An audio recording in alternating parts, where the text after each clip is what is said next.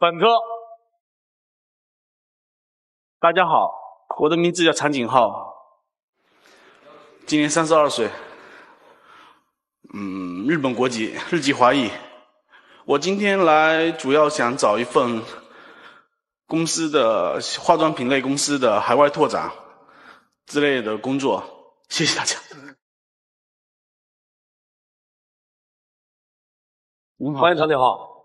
呃，你是啊，有点紧张啊，没事没事，放松放松放松放松。啊，这这这不吓人啊！来鼓励一下。我生长在中国，生长到十九岁，十九岁，所以我的国籍什么只是一本护照。嗯嗯嗯，你们忘掉它。好，这样你是在这出生的，对，在这长大的，对对，到十九岁，对，然后去了日本，对，啊，在日本读的大学，对，大学毕业之后呢，在哪儿工作？啊，都在很多公司比较大的公司都上过班。是在日本？对。啊，做什么样的工作？一般电脑方面的维护啊、修理，还有一些室内网络的搭建等等，做了一年多，于是投资开了个店。嗯，做什么？电脑。啊，还是做电脑？电脑的什么？品牌电脑的销售、修理、维修，还有 NTT 的代理，就是网络的公司的代理。嗯，这又干了多久？一直干到现在，还干到现在还在干，还在做。对，我在日本。是东京华人圈里面小有名气啊，然后是因为什么？因为我开了个店，是日本最早做 NTT 代理，不是 NTT 代理修电脑是最早的，其中在报纸上大做广告的其中的一家啊，所以小有名气。对，然后我当时跟很多社长看他们在跟我开玩笑，一直说你是我见到唯一一个全日本没有敌人的人。就是同行业不是敌人，都是朋友的人啊。那为什么现在想到要要要要回到中国找工作？现在房子有了，车有了，信用卡有，要什么有什么的生活。但是我的公司大也大不了。嗯。如果我做不了皇帝，嗯，那么在可能的情况下，嗯，我想做一个好宰相，嗯。就是这样子，嗯，呃，大同学，你就是就是你你的劲儿吧，老使的特别大，你放松点对不起，你放松点咱们不是，就是这个世界上，它不是除了皇帝，就就就就只有宰相，对吧？那你比如说那些都是和电脑那些有关的嘛？对，是吧？电脑的维修啊，对，网络系统的搭建啊，对吧？你今天要找的工作还是这样的工作吗？不是了，你刚才说海外的。市场的拓展吧，对对吧？所以你没有这方面工作的经验。我接触了这很多这方面的人。嗯嗯嗯。我一我了解日本。嗯。二我了解中国。嗯。三我有很多资源。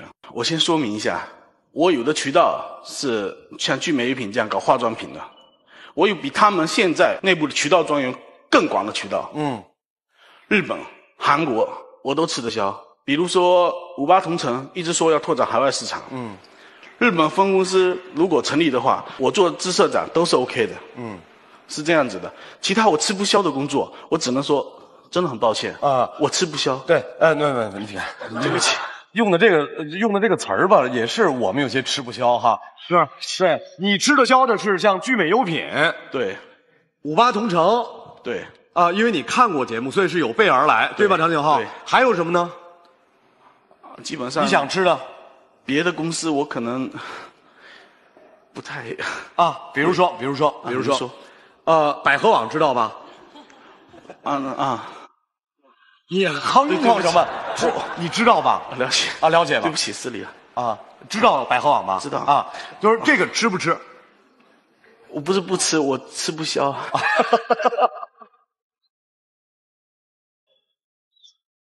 指了两家，说这两家你吃得消，是这个意思吧？嗯，那为什么呢？能解释一下？啊，能能能。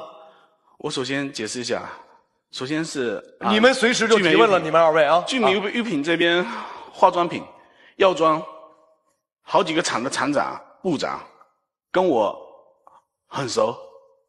我这次带了四十公斤的样品回来，对，四十公斤。药妆是现在中国市场应该是很火的东西。我也看到了，你们现在在卖的只是在卖那个豆乳，对吧？那个产品事实上在日本不是所有的药妆店都在卖的，但是无可否认，这个产品在中国市场很成功。为什么呢？宣传做得好，我有渠道可以拿到货，同时我国内我也有自己的渠道愿意向我买。所以说我如果到聚美优品的话，我是带着货源，带着客户，我客户客户啊对，啊，然后五八同城，五八同城在日本，就算开了分公司，你肯定不可能针对日本人赚钱，对吗？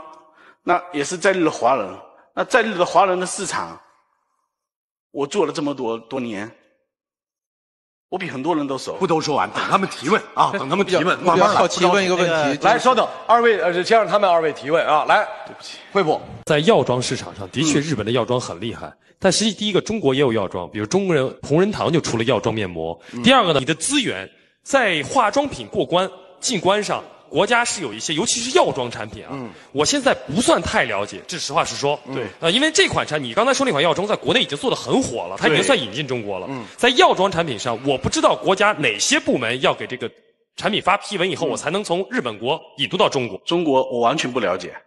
我先说，为而、不是说啊、那个是说您刚才说渠道呃怎么怎么引入这些方面，我完全不了解。嗯，来，你好啊金波，我问一个问题，就是说，你认为五八同城如果在日本做的话，在日本本地有哪些对手？你大概了解过吗？好，对，日本现在互联网的，就是像您这样子同类型的网站是没有的。但是零二年的时候，日本开了一个新的论坛，一个中国人开的，什么名字我就不宣传它。那个网站现在是日本唯一的一个论坛，但是是类似于您的网站的功能的一个论坛。嗯，那个论坛是你最大的对手。好，来，好好，这是问题啊，各位这，样，呃，中国的互联网公司进日本，这确实是一个比较这个，就是大家可能都不太认同的一种方式。那可能它的优势更多的是把这个就是日本的一些有特色的、有优势的一些商品资源引到国内。所以我想问的问题就是说，呃，你刚才提到你带了四十公斤的这个特色的东西进来，对是吧？那我想问，就是说你说到的那些资源和关系，你拿到的额外的折扣，或者是说你拿到中国来之后，这中间的利润率大概是多少？好啊。运费什么东西都不算的话，以现在比现在那个豆奶的那个洗面奶便宜的价格，我打个比喻，九十你们卖九十九对吧？对现在，是。二十多就可以拿到。啊，现在呢，该聊的咱们基本上都聊了，有资源优势，呃，有渠道优势，但是是不是资源优势和渠道优势就能成为一家公司的海外开发的相关部门的工作人员？不知道，由各位老板做出判断。十二位第一次选择，陈浩离开，尹峰离开，本红离开，毛颖、蔡虎，二位。好，有五位留了下来。天生我有才，我觉得你那个方向是对的。你在日本做华人的生意，不如做这个中国跟日本的桥梁，这个方向是对的。但是我从聊下来，我感觉你不要瞄准互联网行业啊，不要单纯的瞄准互联网行业。好，我尽量不把你当做一个伊语来客，也不把你的在日本的资源当做什么。为什么？我跟你讲一件事情。嗯，今天我在参加节目的上午，嗯，陈欧在见韩国最大的化妆品制造公司的社长，是从韩国那边飞过来。嗯，飞完他第二天就要飞走。嗯这个人我们是怎么认识的呢？我们是在上海美博会上认识的。嗯，你应该知道美博会，如果你做化妆品的话，嗯，那里面所有的日本厂商、韩国厂商、保加利亚的厂商、欧欧洲的厂商在那儿做着殷切的保加利亚是保加利亚大马士革玫瑰嘛，哦啊，这个叫保加利亚那个玫瑰特别厉厉害。然后我们去了以后，他们说我们产品怎么好，我们还没进入中国，你们怎么帮我们进中国？啊，然后呢，我就我帮你进中国，这开玩笑的说，也就是说现在中国这个市场大家很多人关注，因为大家都想挣中国人的钱。嗯，那么我觉得你的资源不是资源，为什么呢？以聚美现在的实力，我想拉动一个日本株式会社给我做代工，只是我能不能付给他那个成本，回国能不能卖拿那个合理的利润卖出去？嗯我不存在通过一个中间人去搞定他。嗯，因为我的量已经有保证了。嗯，也就是说，除了这些东西，嗯，如果说我就让你在日本做一个拓展，我给你出一道题好不好？嗯，今天你要给我选一种产品，这种产品带回国内以后卖的非常好，嗯，大家非常喜欢。你给我推荐一款日本的产品，让我觉得我有必要通过你拿这家厂商的独代。首先纠正您一个错误，嗯，好，您一直在不停的说我们有量，嗯，我在跟大会社联系，嗯，首先你要知道，中国化妆品销售不是只有您，嗯，有很多公司在卖，嗯，你不做，他公司一样可以在做，别人也会跟他们做，嗯，所以他们给你的价格不会是最低的，也许你吃一次亏、两次亏以后，可能会拿到最低的，但是只是可能，嗯，日本大会社做事情有大会社的路路啊，都。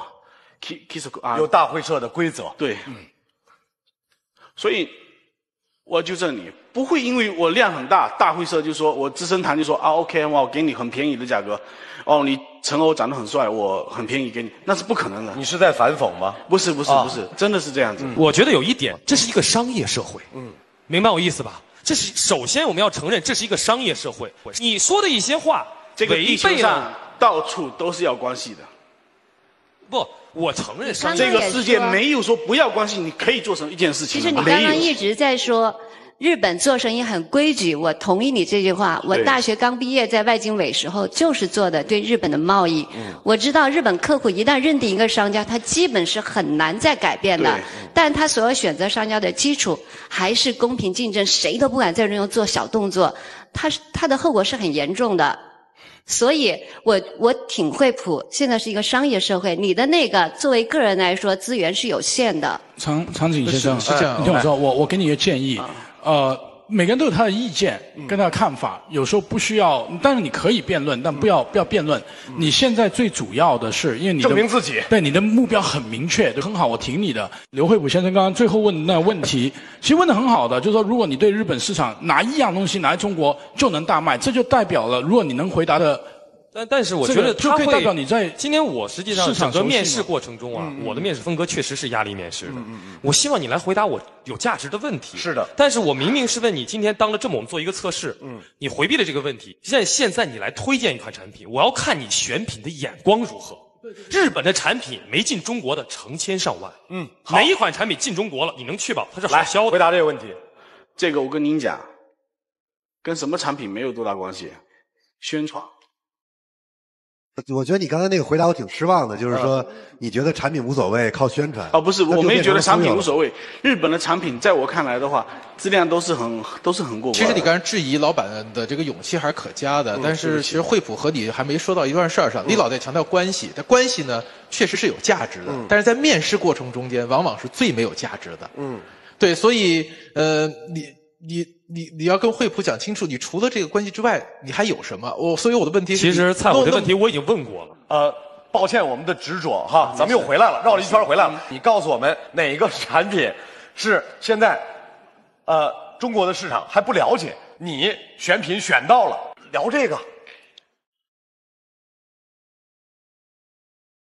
景浩同学，你带回来那四十公斤里头都主要什么什么货呀？什么？他可能不太了解。现在就卖的最好的。女孩子您别打断，您别打断，您别您别化妆水。啊什么？一种化妆水 S O C 的，这么大罐。化妆化妆水。呃，你为什么会选它呢？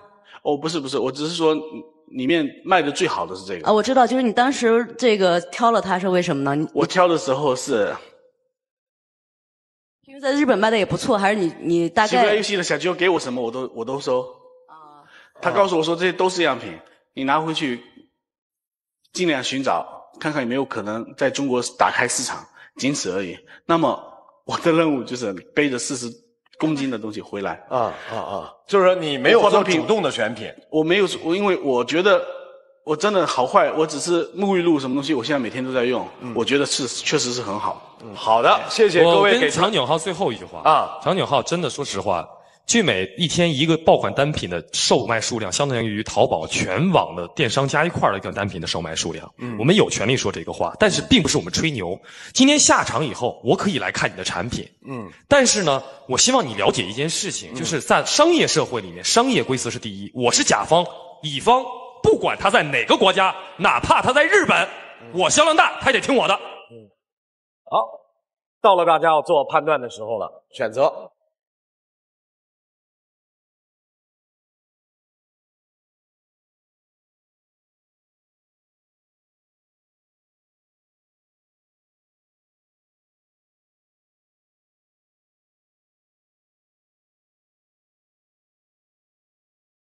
王景浩，明天我在公司，嗯，你可以到时候录制节目结束，我给你公司地址，你可以带一些样品去我的公司。我可以直接邮送给你，因为我订的是一号回日本的机票。好啊，好，这样所以嗯，这样这样没关系，下面想怎么谈怎么谈。对如果能合作，我觉得是挺好的事儿。但是以工作来讲，抱歉，对。最后能不能再讲一句话？当然，我为刚才事理向诸位道歉。我也为刚才我的失礼道歉。谢谢，谢谢，再见。